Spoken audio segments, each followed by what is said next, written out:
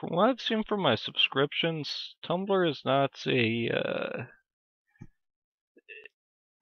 it's not a place that I would very much like, but nonetheless, that's filtered through someone else's experience, not through my own. So I figured, eh, why not try it out?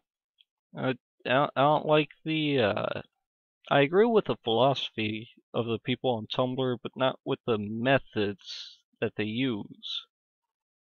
Um, I mean, if I yell at someone, yeah, they're gonna listen, or are they gonna pay attention? Uh, being big, bold, and flashy, they're gonna see you, but are they going to see what you're trying to do?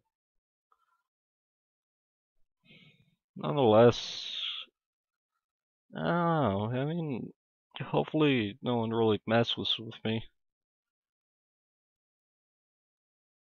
Well, I'm hoping. Well, hmm. A Slacker Engineer, and I'm gonna be building my robot soon. Well, not my robot, but no, uh, I'll make a video about how I make a robot. Take care.